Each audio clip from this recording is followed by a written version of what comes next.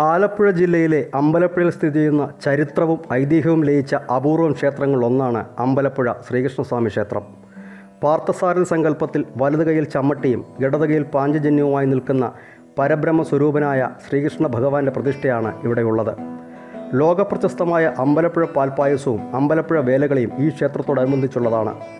പഴയ നാട്ടുരാജ്യമായിരുന്ന ചെമ്പകശ്ശേരിയിലെ ഭരണാധികാരി പൂരാടം തിരുനാൾ ദേവനാരായണനാണ് ഈ ക്ഷേത്രം പണി കഴിപ്പിച്ചത് അമ്പലപ്പുഴ ക്ഷേത്രപ്രതിഷ്ഠയുമായി ബന്ധപ്പെടുത്തി മൂലം നാളിൽ ചമ്പക്കുളം പമ്പാ നദിയിൽ രാജപ്രമുഖൻ വള്ളംകളി നടന്നുവരുന്നു ഈ ക്ഷേത്രത്തിൽ ഉപദേവതകളായി ശിവൻ ഗണപതി അയ്യപ്പൻ ഭദ്രകാളി എന്നിവർക്കും പ്രതിഷ്ഠയുണ്ട്. മീനമാസത്തിൽ തിരുവോണം നാളാണ് ആറാട്ടായി ആഘോഷിക്കുന്നത്. തിരുവിതാംകൂർ ദേവസ്വത്തിന്റെ കീഴിലാണ് ഈ ക്ഷേത്രം സ്ഥിതി ചെയ്യുന്നത്. ക്ഷേത്രത്തെപ്പറ്റിയുള്ള ഐതിഹ്യം ഇങ്ങനെ. ഈ ക്ഷേത്രത്തെപ്പറ്റി ഐതിഹ്യപ്രകാരം വില്ലമംഗലത്ത് സ്വാമിയാരാണ് ക്ഷേത്രത്തിന് സ്ഥാനം നിശ്ചയിച്ചത്. ചെമ്പകശ്ശേരി രാജാവ് ഒരു ദിവസം സ്വാമിയാരുമൊത്ത് വള്ളത്തിൽ യാത്ര ചെയ്യുകയായിരുന്നു. ആ സമയം കർണാനന്ദകരമായ ഒരു ഓടക്കുഴൽ നാദം കേട്ട് രാജാവ് ചുറ്റുപാട് നോക്കി. എന്നാൽ ആ പ്രദേശത്തെങ്ങും ആരും ഉണ്ടായിരുന്നില്ല. ശ്രീകൃഷ്ണന്റെ ഓടക്കുഴൽ ഗാനമാണ് കേട്ടതെന്നും അവിടെ ഒരു ക്ഷേത്രം പണിയണമെന്നും സ്വാമിയാർ രാജാവിനെ അറിയിക്കുന്നു. അങ്ങനെ ആ ക്ഷേത്രം അവിടെ പണി ചെയ്യപ്പെട്ടു എന്നാണ് ഒരു ഐതിഹ്യം. അമ്പലപ്പുഴയിൽ പ്രസിദ്ധമായ മറ്റൊരു ഐതിഹ്യമാണ് അമ്പലപ്പുഴയിലെ പ്രതിഷ്ഠ നടത്തിയത് നാറാണത്ത് ഭ്രാന്തനാണെന്ന്. പ്രതിഷ്ഠാ സമയത്ത് അഷ്ടബന്ധം ഉറക്കാതെ തന്ത്രിമാർ വിഷമിച്ചു. അപ്പോൾ ആ വഴി വന്ന നാറാണത്ത് ഭ്രാന്തനോട് അപേക്ഷയനുസരിച്ച് അദ്ദേഹം അദ്ദേഹത്തിന്റെ കയ്യിലിരുന്ന മീൻ ശ്രീകോവിലിന് പുറത്ത് തൂക്കി വായിലെ മുറുക്കാൻ വിഗ്രഹം പ്രതിഷ്ഠിക്കുന്നതിനായി തുപ്പിയെന്നും ഐതിഹ്യം പറയുന്നു. അതുകൊണ്ട് താമ്പൂലപ്പുഴ എന്നാണ് മുമ്പ് അമ്പലപ്പുഴ അറിയപ്പെട്ടതെന്നും പിന്നീട് അത് ലോപിച്ച് അമ്പലപ്പുഴയായെന്നും പറയപ്പെടുന്നു. തന്ത്രിമാരെക്കുറിച്ചും ഐതിഹ്യമുണ്ട്. തുടക്കത്തിൽ കടികക്കൊൽമനയിലെ തിരുമേനി മാത്രമാണ് തന്ത്രിയായി ഉണ്ടായിരുന്നത്.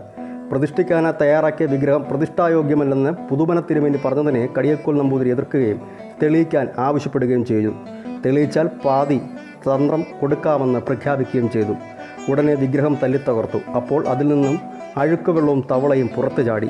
പ്രതിഷ്ഠിക്കാനുള്ള വിഗ്രഹം ക്ഷേത്രക്കുളത്തിലുണ്ടെന്ന് പുതുവന പറഞ്ഞതനുസരിച്ച് കടിയക്കോൽ മുങ്ങിയെടുത്ത വിഗ്രഹം പിന്നീട് പ്രതിഷ്ഠിക്കുകയാണ് ഉണ്ടായത്.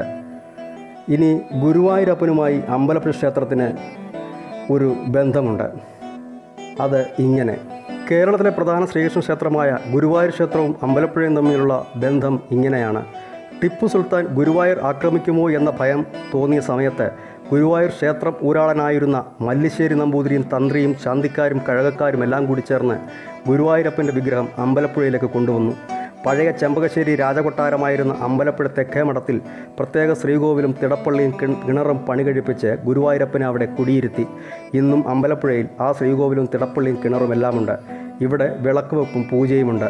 എന്നാൽ സമീപത്തെ ക്ഷേത്രങ്ങൾ പലതും തകർത്തിട്ടും ടിപ്പുവിന് ഗുരുവായൂർ ക്ഷേത്രം മാത്രം തകർക്കാൻ കഴിഞ്ഞില്ല. തുടർന്ന് ഗുരുവായൂരേക്ക് വിഗ്രഹം മടക്കിക്കൊണ്ടുപോയി. ഇന്നും അമ്പലപ്പുഴയിൽ പാൽപ്പായസം എഴുന്നള്ളിക്കുമ്പോൾ വടക്കേ നടയിൽ ഒരു ശ്രീകൃഷ്ണ ശ്രീകൃഷ്ണപ്പരുന്ത് വട്ടമിട്ട് പറക്കുന്നത് കാണാം. അത് സാക്ഷാൽ ഗുരുവായൂരപ്പന്റെ സാന്നിധ്യമായി ഭക്തർ വിശ്വസിക്കുന്നു. തന്മൂലം ഗുരുവായൂരിൽ ഉച്ചപൂജ കഴിഞ്ഞ ഉടൻ നട നടയടയ്ക്കുകയും ചെയ്യുന്നു. ഇനിയും ക്ഷേത്രത്തിന്റെ മതിൽക്കകം ചുറ്റി നടക്കുമ്പോൾ നമുക്ക് ഒരു കളിത്തട്ട് കാണാനാകും. അവിടെ ഒരു മിഴാവുണ്ട്.